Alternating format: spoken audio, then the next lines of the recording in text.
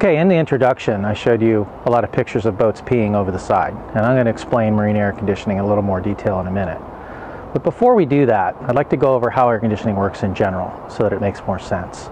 Um, whenever a gas expands, like in a spray can, and you spray it for a long time, you'll feel the can get cold.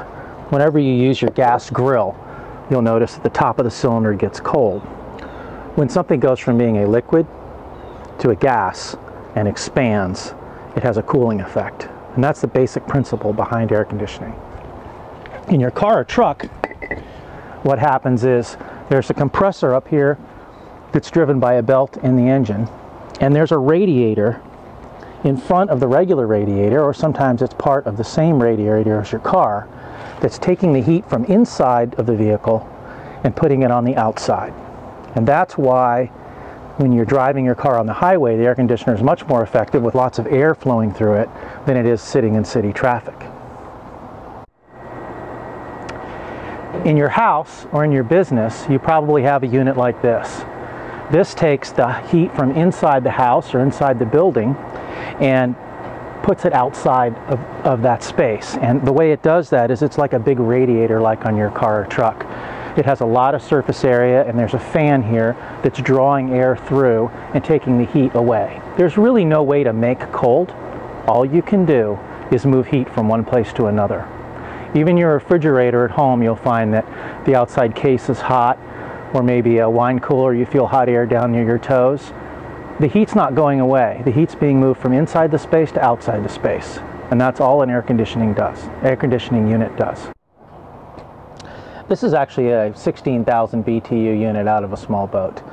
Um, I want to show you the difference here with air conditioning for a boat versus a home or a vehicle. It's really not convenient to have a radiator mounted on the, on the front of a boat. The salt water would quickly corrode it. It's not convenient to have that big unit like you have on your house anymore on a boat. And on a boat, we have the advantage of having unlimited water. And water is actually a much better tool at removing heat. If you think about it, you can have a jacket on and be out in very cold weather and you can live a long time.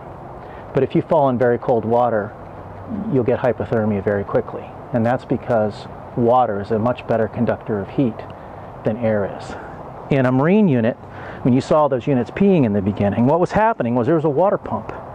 It was taking water from the bottom of the boat, it was pumping it through the unit and going over overboard. The water going overboard was much hotter than the water when it came in.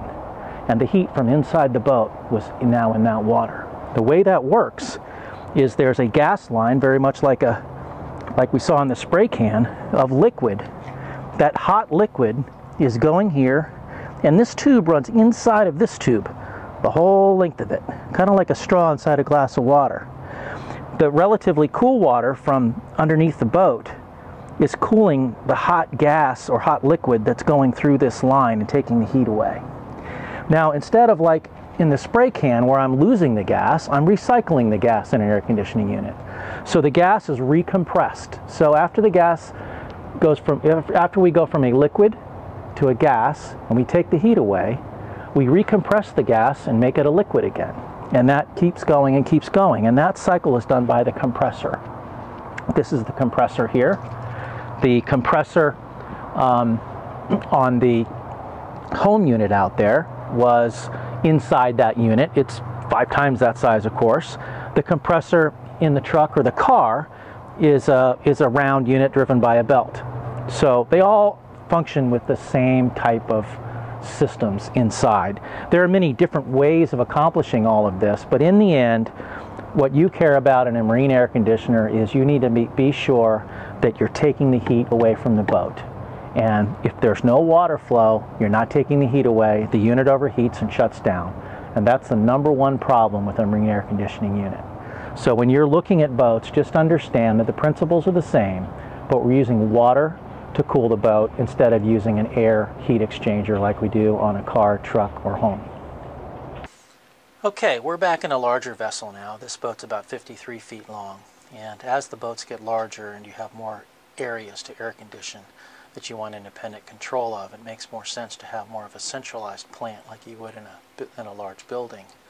and then have separate air handlers for each region. So this is called a chilled water system. And unlike the system I showed you earlier, um, we've these separate chillers do nothing but make cold water. So instead of making cold air for a room, these three chillers that are two tons each or 24,000 BTUs each, um, they use still use salt water to take the heat away, as in the other unit. But the result of taking that heat away is cooling water. Think of it like a water hot water heater. A hot water heater heats water, and then at all the faucets in your house, you can open the faucet and you can get hot water. Well, in this system, the chillers are making cold water, and in each room, there's an air handler, which is like a little radiator and a blower, and it lets the cold water run through its coils, and it has a fan. But all of the function of making something cold or taking the heat away um, is down here. So all the noise is down here. The running of the salt water through these lines happens down here. So now in the nine different areas where I have an air conditioner thermostat in this boat, all I need to do is run this, this insulated line up to that room and have a very small unit in that room that does nothing more than have cold water flowing through a coil with a fan. So it greatly simplifies the uh, air conditioning system in the boat because now I don't have to have salt water running to and from each one of those different zones in the boat. The system's more expensive. You typically find it on, you know, 50 foot and up, maybe 100 foot and up boats because it's probably another $20,000 to build the boat this way. Um, it does last longer and the units uh, perform better because the salt water comes in through a very large opening. It goes through a very short distance through large pipes and goes overboard. So when you see this boat pee, it's much larger uh, volume of water coming out of the boat um, because it's really doing the, the same function as 7 to 9 of the smaller units I showed you earlier. And again, that's called a chilled water system.